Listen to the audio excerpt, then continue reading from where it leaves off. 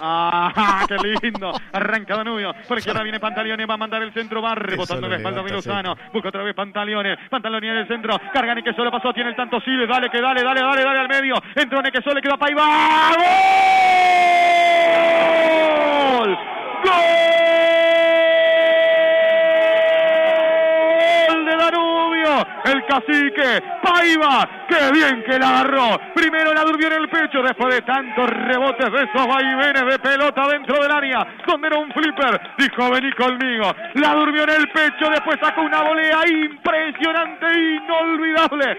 El cacique Paiva le quemó los guantes, le arrancó el arco al meta Falcone. Diez minutos del primer tiempo por la zurda Pantaleone. No llegó Nequeso y después de varios rebotes, ella mimosa, cariñosa, buscaba un pecho para dormir un ratito. Ahí durmió en el pecho de Paiva. La volea perfecta. Pasó a ganar Danubio 10 del primer tiempo y en Jardines gritan los franqueados. Jardines está de fiesta. Danubio 1, Boston 0. Qué recurso impresionante el de Paiva. La duerme en el pecho una volea soberbia para poner el primer golpe en la mañana y se lo lleva Boston River. Nada para hacer pudo hacer Falcón en la defensa. Gana Danubio cuando había llegado dos veces más que Boston River. Habitat, hacemos la vida más fácil. Qué linda volea sacó el Botija Santiago Paiva. Está ganando Danubio, Mati. ¿Y esto con qué se come? Con números le ponemos.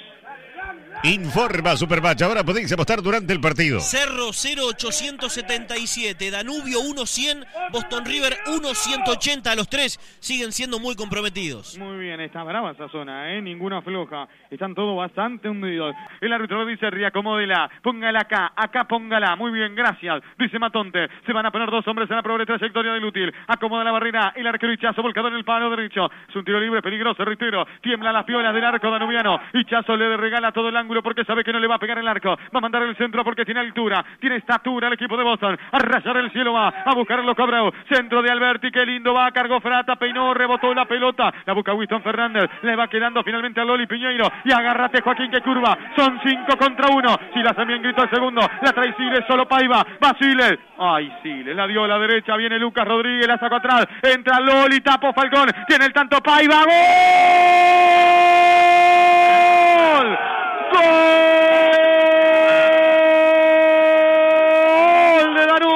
Hizo Paiva. Había hecho todo mal Chile, pero ligó después que el que corrió por este lado fue Lucas Rodríguez y dejó la pelota atrás. Igualmente para que viniera de frente el Puma. Tapó Falcone. En el rebote lo dejaron solo. A Paiva. Los zagueros de Boston River habían quedado en ofensiva porque Boston se adelantaba un poquito buscando esa pelota quieta. De contra lo mató Danubio. A 100 kilómetros por hora. Después del arquero Falcón que como gato entre la leña trataba de arreglarse como podía. En boca la pelota el cacique Paiva.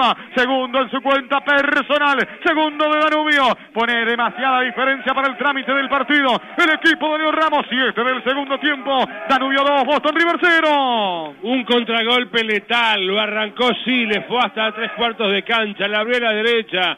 El Loli que remata. Y Paiva, solo con olfato goleador pone el segundo golpe al mentón a Boston River al arranque del segundo tiempo.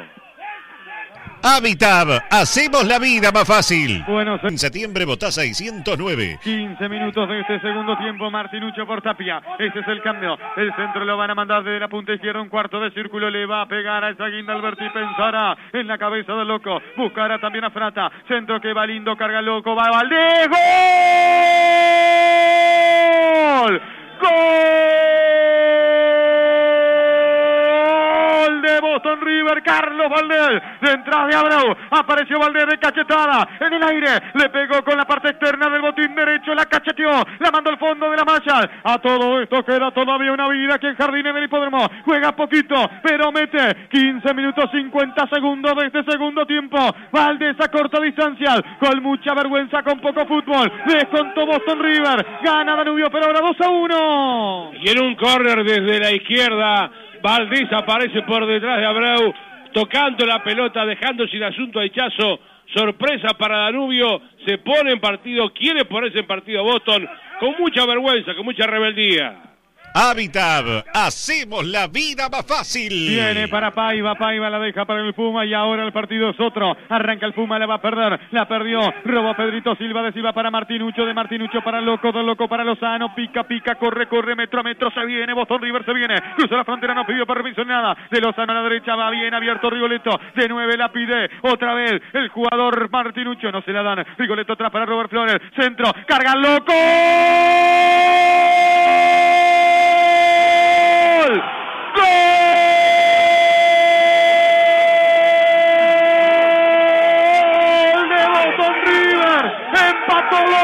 Washington Sebastián Abreu. Un minuto fatal de pesadilla el jardín del hipódromo. Primero descontó Valdés, ahora de contra. Cuando crecía por la derecha el Puma, la pasó mal.